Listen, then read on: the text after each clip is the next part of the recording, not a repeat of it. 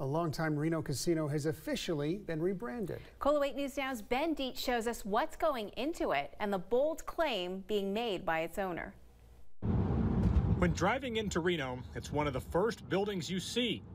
And now it'll be known as something else. We wanted to make sure we had enough of the building complete so when people came in, they would actually be able to see the difference. As of Tuesday, what was the Sands Regency is officially the J Resort, with the J being for Jacobs Entertainment, who has owned it for the past six years. When people walk in, they're not going to believe that this was once the Sands, now the J Resort. VP of Nevada Operations Jonathan Boulware says the Sands Regency was a one or two star resort when they bought it, and they're going to spend $300 million transforming it into a four star tourist attraction. The first phase of the makeover will be done in June, and it includes close to 500 remodeled rooms, a new steakhouse, a three meal restaurant, and this new front desk but that is just phase one. We're going to keep building. I think we can grow it up to 2,000 rooms.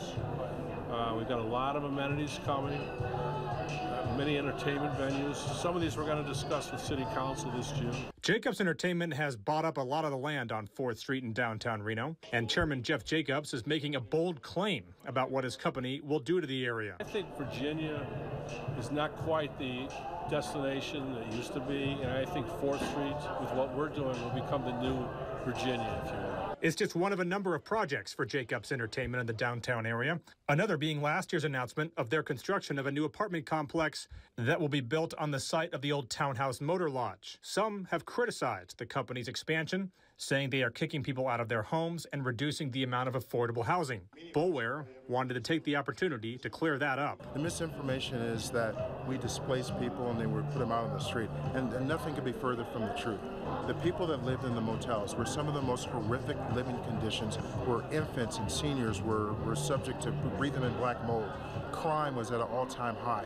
And to take those people and relocate them into apartments where they can feel safe and they have kitchens and, and they're treated fairly. Uh, just gives us, just warms our heart. We would like for that story to be reported because that's what happened. Nobody was put on the street when we went through that process, and that's what makes us feel good about um, what we did for our community. And as you can see here in the west parking lot, the first J has already been added to the side of the building as the renovations continue. In downtown Reno, Ben KOLO 8 News Now.